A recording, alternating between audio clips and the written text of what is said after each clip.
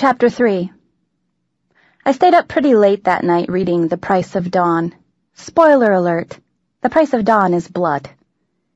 It wasn't an imperial affliction, but the protagonist, Staff Sergeant Max Mayhem, was vaguely likable despite killing, by my count, no fewer than 118 individuals in 284 pages. So I got up late the next morning, a Thursday. Mom's policy was never to wake me up because one of the job requirements of professional sick person is sleeping a lot, so I was kind of confused at first when I jolted awake with her hands on my shoulders. It's almost ten, she said. Sleep fights cancer, I said. I was up late reading. It must be some book, she said as she knelt down next to the bed and unscrewed me from my large rectangular oxygen concentrator, which I called Philip because it just kind of looked like a Philip.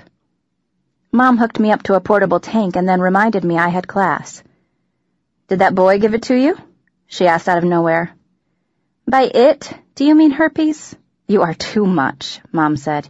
The book, Hazel. I mean the book. Yeah, he gave me the book. I can tell you like him, she said, eyebrows raised, as if this observation required some uniquely maternal instinct. I shrugged. I told you support group would be worth your while. Did you just wait outside the entire time? Yes, I brought some paperwork. Anyway, time to face the day, young lady. Mom, sleep, cancer, fighting. I know, love, but there is class to attend. Also, today is... The glee in Mom's voice was evident. Thursday? Did you seriously forget? Maybe? It's Thursday, March 29th! She basically screamed, a demented smile plastered to her face. You are really excited about knowing the date, I yelled back. Hazel, it's your 33rd half birthday! Oh, I said.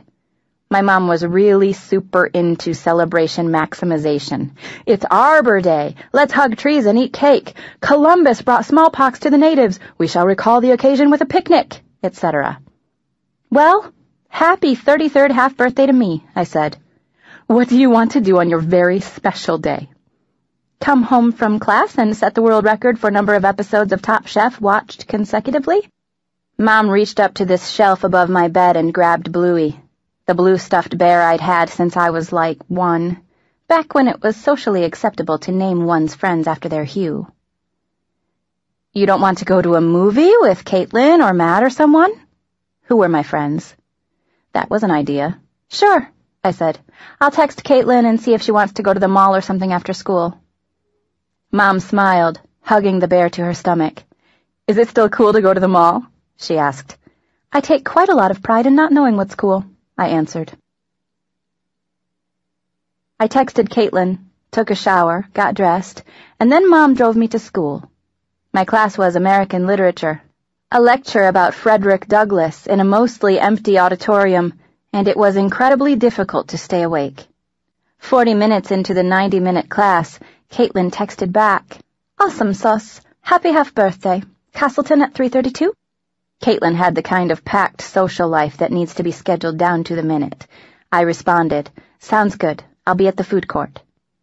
Mom drove me directly from school to the bookstore attached to the mall where I purchased both Midnight Dawns and Requiem for Mayhem, the first two sequels to The Price of Dawn, and then I walked over to the huge food court and bought a Diet Coke. It was 321. I watched these kids playing in the pirate ship indoor playground while I read. There was this tunnel that these two kids kept crawling through over and over, and they never seemed to get tired, which made me think of Augustus Waters and the existentially fraught free throws.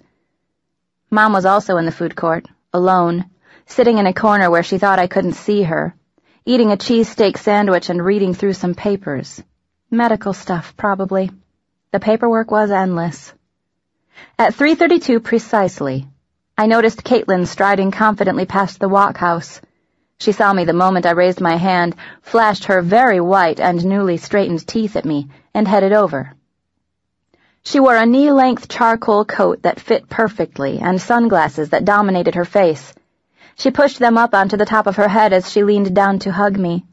Darling, she said, vaguely British, how are you? People didn't find the accent odd or off-putting.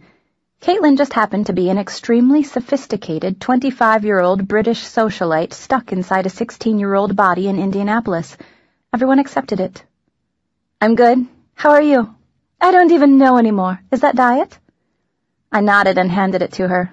She sipped through the straw. I do wish you were at school these days. Some of the boys have become downright edible.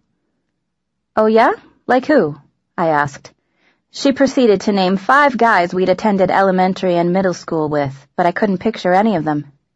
I've been dating Derek Wellington for a bit, she said, but I don't think it will last. He's such a boy. But enough about me. What is new in the Hazelverse? Nothing, really, I said. Health is good? The same, I guess. Phalanxifor, she enthused, smiling. So you could just live forever, right? Probably not forever, I said. But basically, she said. What else is new? I thought of telling her that I was seeing a boy, too, or at least that I'd watched a movie with one, just because I knew it would surprise and amaze her that anyone as disheveled and awkward and stunted as me could even briefly win the affections of a boy, but I didn't really have much to brag about, so I just shrugged. What in heaven is that? asked Caitlin, gesturing to the book. Oh, it's sci-fi. I've gotten kinda into it. It's a series. I am alarmed. Shall we shop? We went to this shoe store. As we were shopping, Caitlin kept picking out all these open-toed flats for me and saying, These would look cute on you, which reminded me that Caitlin never wore open-toed shoes on account of how she hated her feet because she felt her second toes were too long, as if the second toe was a window into the soul or something, so when I pointed out a pair of sandals that would suit her skin tone, she was like, yeah, but... The but being, but they will expose my hideous second toes to the public. And I said, Caitlin, you're the only person I've ever known to have toe-specific dysmorphia. And she said, what is that? You know, like when you look in the mirror and the thing you see is not the thing as it really is. Oh, oh, she said, do you like these? She held up a pair of cute but unspectacular Mary Janes, and I nodded, and she found her size and tried them on, pacing up and down the aisle, watching her feet in the knee-high angled mirrors. Then she grabbed a pair of strappy hooker shoes and said, Is it even possible to walk in these? I mean, I would just die. And then stopped short, looking at me as if to say, I'm sorry, as if it were a crime to mention death to the dying. You should try them on, Caitlin continued trying to paper over the awkwardness. I'd sooner die, I assured her. I ended up just picking out some flip-flops so that I could have something to buy, and then I sat down on one of the benches opposite a bank of shoes and watched Caitlin snake her way through the aisles, shopping with the kind of intensity and focus that one usually associates with professional chess. I kind of wanted to take out Midnight Dawns and read for a while, but I knew that'd be rude, so I just watched Caitlin. Occasionally she'd circle back to me clutching some closed-toe prey and say, This? And I would try to make an intelligent comment about the shoe, and then finally she bought three pairs and I bought my flip-flops, and then as we exited she said, Anthropologie?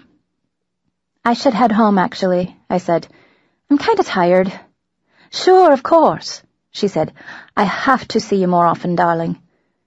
She placed her hands on my shoulders, kissed me on both cheeks, and marched off her narrow hips swishing. I didn't go home, though. I'd told Mom to pick me up at six, and while I figured she was either in the mall or in the parking lot, I still wanted the next two hours to myself. I liked my mom, but her perpetual nearness sometimes made me feel weirdly nervous. And I liked Caitlin, too, I really did. But three years removed from proper full-time schoolic exposure to my peers, I felt a certain unbridgeable distance between us, I think my school friends wanted to help me through my cancer, but they eventually found out that they couldn't. For one thing, there was no through. So I excused myself on the grounds of pain and fatigue, as I often had over the years when seeing Caitlin or any of my other friends. In truth, it always hurt. It always hurt not to breathe like a normal person, incessantly reminding your lungs to be lungs, forcing yourself to accept as unsolvable the clawing, scraping, inside-out ache of underoxygenation. So I wasn't lying exactly. I was just choosing among truths. I found a bench surrounded by an Irish gift store, the Fountain Pen Emporium, and a baseball cap outlet. A corner of the mall even Caitlin would never shop, and started reading Midnight Dawns.